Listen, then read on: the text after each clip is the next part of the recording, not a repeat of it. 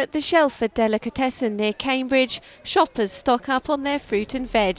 We've been told for years that it's good for us, and now it seems that eating the right foods could help in the fight against cancer. New research out today has for the first time been able to prove a link scientifically between what we eat and prostate cancer. Broccoli, pomegranate, green tea and turmeric. These are the superfoods that scientists are getting all excited about. A six-month study involving 200 men with prostate cancer found that those regularly taking a capsule containing these four superfoods had their cancer indicators lowered by 63%.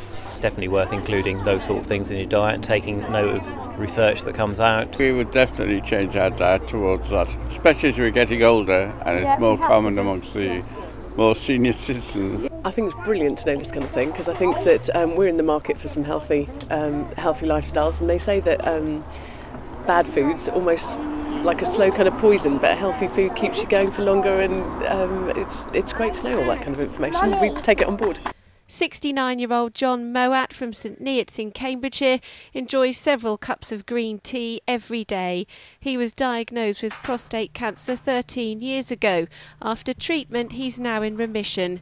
But he's changed his lifestyle and, more importantly, what he eats and drinks. He welcomes the research and thinks the results are encouraging, but that a larger and more diverse group of men need to be tested. once you've had prostate cancer, you know, you're, you're never free of it, you're in remission. So you've got to do everything you can to make sure it doesn't come back. And certainly eating, eating properly, exercising properly, and living a healthier um, lifestyle will help you um, survive better.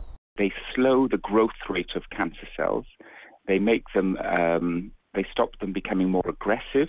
They stop them spreading from the site of origin, so that that's called metastases.